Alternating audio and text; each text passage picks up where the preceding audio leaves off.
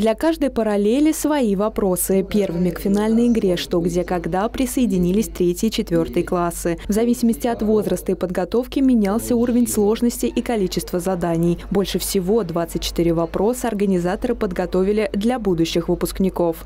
Для самого накала борьбы с первых самых игр мы поняли, что ребята очень заинтересовались, потому что эмоции били через край, им все очень нравилось.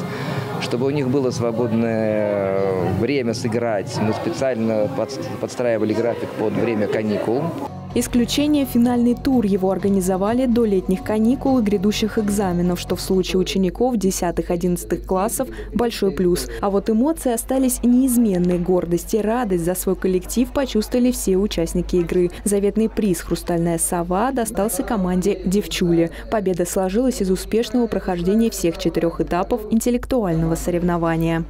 Сегодня мы выиграли «Хрустальную сову», заняв первое место по Ульяновску. Это ну, непередаваемые впечатления, которые, я думаю, что запомню на всю жизнь. Борьба была достаточно трудной и долгой, но мы добились, мы это заслужили, и мы победители. Девчули изучали материал для турниров свободное от уроков время на еженедельных субботних играх в библиотеке имени Карамзина. Разобраться в трудных для понимания темах помогали преподаватели. За свой труд и преданность профессии учителя, которые готовили команды, получили благодарственные письма и почетные грамоты. Александра Никитина и Анатолий Рассохин, Улправда, ТВ.